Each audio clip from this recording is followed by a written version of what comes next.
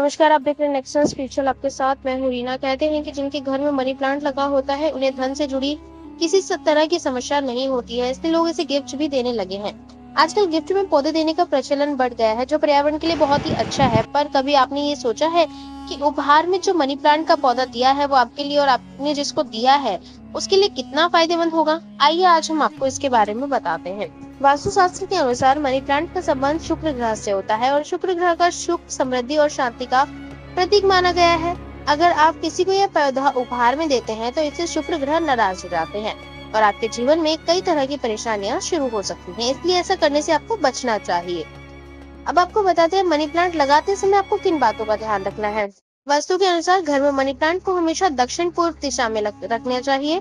घर में उत्तर पूर्व दिशा में मनी प्लांट को नहीं रखें, क्योंकि उत्तर पूर्व दिशा में मनी प्लांट रखने से घर में नकारात्मक ऊर्जा बढ़ती है। मनी प्लांट का पौधा शुक्रवार के दिन लगाना चाहिए, क्योंकि मनी प्लांट का संबंध शुक्र ग्रह से होता है।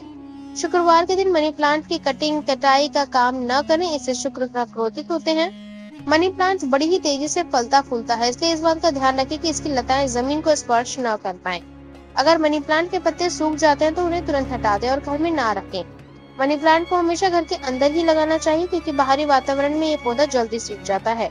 इस बात का खास ध्यान रखें कि घर के मुख्य द्वार पर मनी प्लांट का पौधा नहीं लगाएँ। अगर आपको हमारी ये जानकारी अच्छी लगी हो तो कमेंट कर ज़रूर बताएँ वीडियो को लाइक और शेयर करना ना भूलें।